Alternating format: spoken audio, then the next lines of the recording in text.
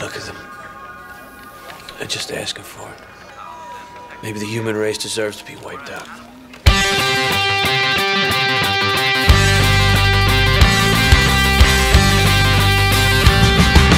There's burning the out of the cage.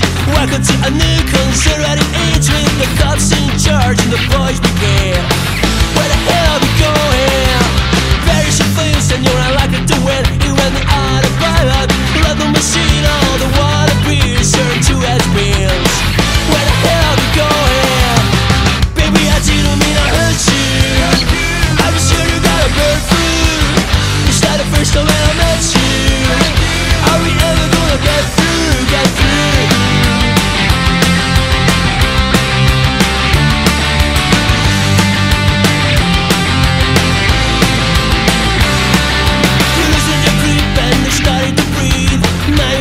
What was on the knees just before